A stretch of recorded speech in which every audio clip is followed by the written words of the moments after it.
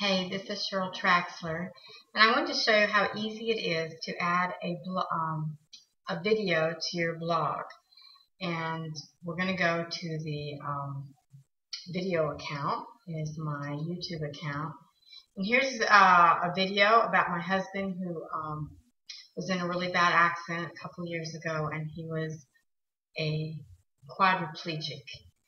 And tells about it. And um, let's see, if you want to share a video, no matter what video it is, you always see this right here, share, and you click on that.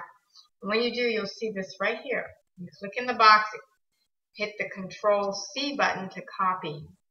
Or you could click like this and say copy, right click and go copy. Alright, once you've done that, you go to your blog. I'm going to go to my blog and I'm going to go post, add a new post. And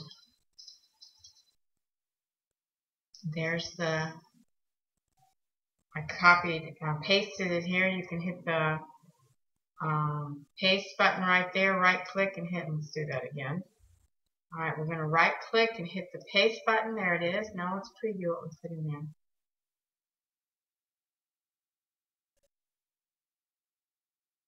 There's the video right there on your blog. It's that simple. You just copy and paste the code right here on YouTube, this right here and paste it on your blog and there it is.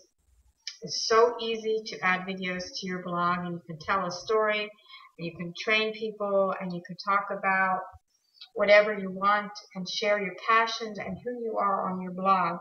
That's really what your blog is all about and that's just a real simple way to add videos if you want to share something funny with people, if you have your own videos that you've done, you know, it's it's pretty easy to share a video on your blog and that's it. So I hope this was helpful. I hope you can see how easy it was.